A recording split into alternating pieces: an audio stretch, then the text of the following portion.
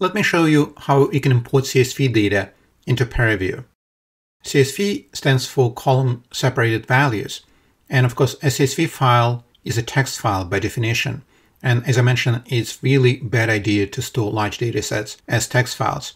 But let's just assume that you have a fairly small data set, a few megabytes, and you want to import it into ParaView.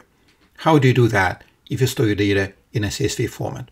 Well, when you open this file in ParaView, ParaView has no idea what the columns are.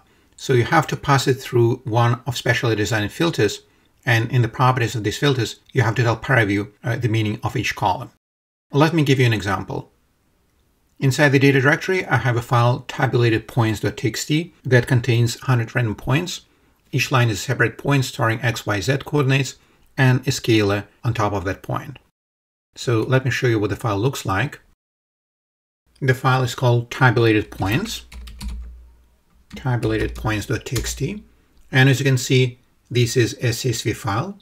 So we have x, y, z, and a scalar separated by commas. There are 100 points in total, so 101 with a header.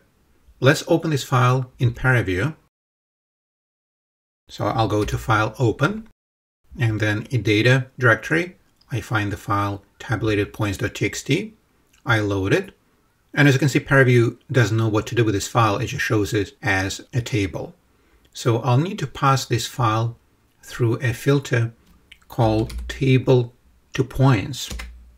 And then in the properties of the filter, I have to tell ParaView that the x column is the x coordinate, the y column is the y coordinate, and then the z column is the z coordinate.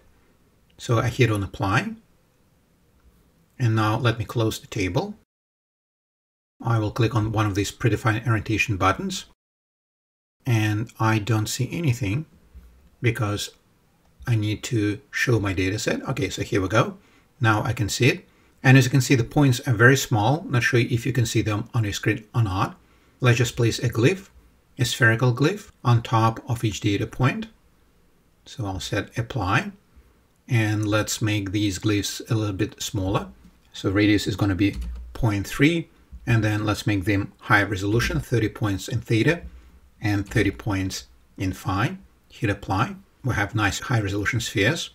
And then let's color the spheres with the value of the scalar field. So that's the fourth column in our CSV file.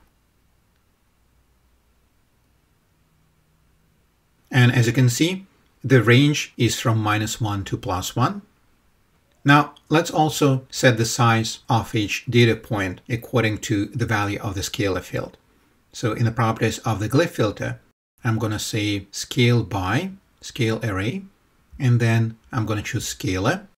And then if I click apply, you'll see that it works. We have different sizes, but some points are grayed out. And this makes sense because these values are actually negative. So we're asking ParaView to show spheres in such a way that the radius of each sphere is proportional to the scalar field. But then some values are negative, so these are grayed out. What you can do, you can actually introduce a new variable with a calculator filter so let me delete the glyph filter and then let me bring up the calculator filter, apply it to the output of table to points. And then I'm going to have a new variable that I will call new radius.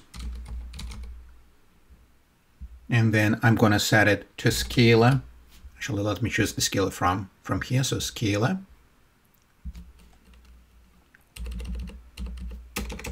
Scalar, let's say, plus 1.1 and then I'm going to say apply and then I will bring up the glyph filter and then the radius is going to be scaled by the new radius, this new variable.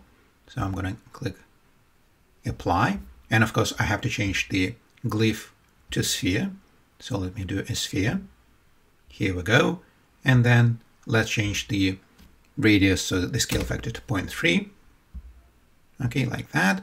And then let's make these, again, high resolution spheres. So we have 30 points in theta and 30 points in phi. Here we go. We have nice high resolution spheres. And then let's color them with the scale variable.